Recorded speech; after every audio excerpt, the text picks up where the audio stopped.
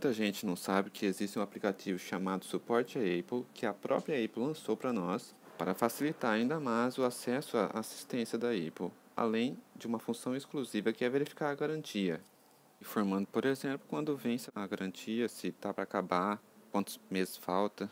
Sem ele, como é que a gente fazia? A gente acessava lá no navegador de internet, acessava o site da Apple, digitava na opção de verificar a garantia o número de série do seu iPhone ou o e-mail do aparelho mesmo, e ele mostrava o prazo, né? Prazo final da sua garantia. Agora aqui no iPhone de forma mais fácil, você vai na App Store, digita lá suporte Apple, faça uma busca por esse aplicativo, aperta instalar aqui.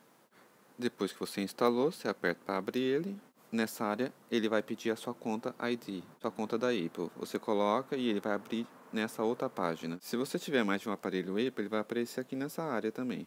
Mas eu quero verificar a garantia deste iPhone, então eu cliquei nele e o aplicativo vai dar vários tópicos com várias opções para caso você queira acessar o suporte da Apple, né?